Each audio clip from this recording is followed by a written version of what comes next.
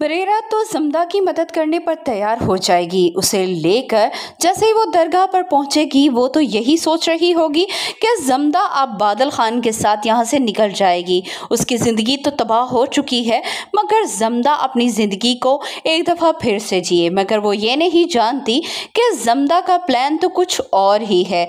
जमदा तो पहले ही चनार खान को आगाह कर चुकी थी और जैसे ही पिछले दरवाजे से बादल खान के साथ वो बाहर निकलेगी तो पहले ही से चन्नार खान मौजूद होगा। यहाँ पर बादल भागने की कोशिश में जमदा का हाथ पकड़ेगा और जिस तरह जमदा उससे अपना हाथ छुड़ाएगी, उसे देखकर बादल समझ जाएगा कि यहाँ पर जमदा उससे बेवफाई कर चुकी है।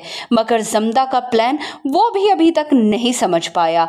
जमदा का प्लान तो यही है कि किसी तरह बादल खान को घर के अंदर लाया जा सके। बादल खान घर के अंदर आएगा तो उसे वार करने में आसानी होगी। यहीं पर बादल ख़ान को बहुत अफसोस होगा कि जमदा ने किस तरह उसे यहाँ से पकड़वा दिया। मगर जमदा बाद में जब बादल से मिलेगी और उसे सारी सूरत हाल बताएगी तो बादल ख़ान भी अपने आप को कंट्रोल नहीं कर पाएगा।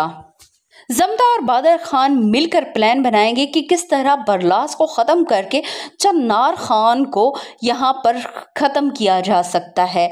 नाजरीन, आपको क्या लगता है, क्या बादल को सज़ा मिलेगी या फिर इस बार चन्नार खान धोखा खाने वाला है? अपनी राय